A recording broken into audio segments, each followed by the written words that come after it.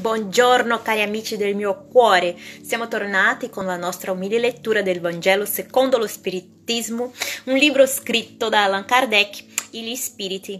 Oggi pregheremo per il, eh, il ventiduesimo nome di Dio, Yei Ai Leon, Yei Alel, preghiera, la giustizia di Dio, Yei Alel, Yei Aiel mi ha dato, Signore, Ieiailel. Ieiael. È, questo, è, questo è difficile di parlare. Ieiael.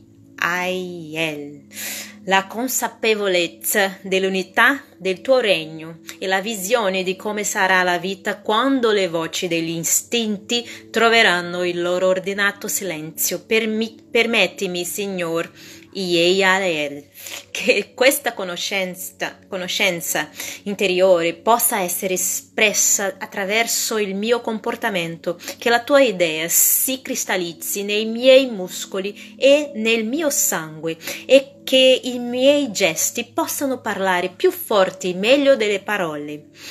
E in quel viaggio verso il tuo splendido futuro, proteggimi, Signore, IAIL, dal pericolo di naufragio, da questa catastrofe che sempre si avvicina all'uomo quando la sua anima si distacca dall'Eterno per adorare la sua personalità fugace immortale. Liberami, Signore, IAIL Aiel, dall'errore che Narciso ha commesso e che, quando intravedo il mio riflesso nello specchio, faccio scoprire ai miei occhi te che a mia immagine ti vedono. Amen. Ebbene, oggi rifletteremo su queste domande. Chi è l'altro consolatore che Gesù ha promesso e chi avrebbe mandato? E un'altra domanda. Come puoi essere felice di soffrire se non sai perché soffri? Ebbene, andiamo a leggere. Promessa di un consolatore. Se mi amate, osservate i miei comandamenti, ed io pregherò il Padre che vi darà un altro consolatore, perché resti con voi per sempre, lo Spirito di verità, che, il mio, che io il mondo non può ricevere perché non lo vede e non lo conosce, ma voi lo conoscete perché abita con voi e sarà in voi. Ma il Consolatore, lo Spirito Santo che il Padre vi manderà nel mio nome, vi insegnerà ogni cosa e vi farà ricordare tutto quello che io vi ho detto. Questo sta scritto a San Giovanni, capitolo 15, 14, versetti 15, 16, 17 e 26. Allora Gesù promette un altro consolatore, è lo Spirito di verità, che il mondo non conosce ancora perché non è maturo per comprend- comprenderlo, che il Padre invierà per insegnare ogni cosa e per ricordare ciò che Dio, che Cristo ha detto. Se dunque lo Spirito di verità deve venire in seguito ad insegnare ogni cosa, vuol dire che Cristo non ha detto tutto. Se viene per ricordare ciò che Cristo ha detto, significa che sarà stato dimenticato o mal capito. Lo spiritismo giunge al tempo segnato per realizzare la promessa di Cristo. Lo spirito di verità presiede alla sua manifestazione, richiama, richiama gli uomini all'osservanza della legge, insegna ogni cosa facendo comprendere ciò che Cristo non ha, non ha esposto che per parabole.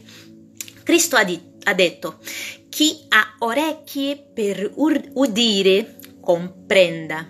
Lo spiritismo si presenta per aprire gli occhi e le orecchie perché parla senza simboli e senza allegorie, solleva i veli che sono stati lasciati con intenzioni su certi misteri, In, viene a re- recare una consolazione suprema ai diseredati della terra e a tutti coloro che soffrono, rivelando una causa giusta ed uno scopo utile a tutti i dolori. Cristo ha detto, beati gli afflitti perché saranno consolati.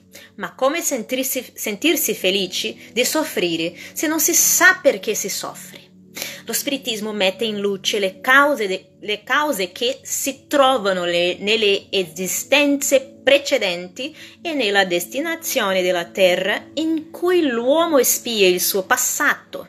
Ne indica lo scopo, dimostrando che le sofferenze sono come le crisi salutari che conducono alla guarigione e che sono la purificazione della, eh, che assicura la felicità nelle esistenze future. L'uomo comprende che ha meritato di soffrire e trova giusta la sofferenza sa che essa contribuirà al suo progresso e l'accetta senza lagnarsi, come l'operario accetta il lavoro che gli farà guadagnare il suo salario. Lo spiritismo dà all'uomo una fede incrollabile nell'avvenire e il dubbio straziante non ha più pres- presa sulla sua anima. Mostrandogli le cose dall'alto, fa sì che le vicissitudini terrene perdono la loro importanza nel vasto e splendido orizzonte che esso abbraccia e la pro- prospettiva della felicità che lo attende gli dà la pazienza a rassegnazione ed il coraggio di andare fino al termine del suo cammino. Così lo spiritismo realizza ciò che Gesù ha detto del consolatore promesso, conoscenza, conoscenza delle cose che fa sì che l'uomo sappia da dove viene, dove va e perché è sulla terra. Richiamo ai veri principi della legge di Dio e consolazione attraverso la fede e la, e la speranza. Ebbene. Abbiamo terminato la nostra lettura di oggi. Spero che ti sia piaciuto tanto quanto a me. Dio vi benedica a tutti. Baci.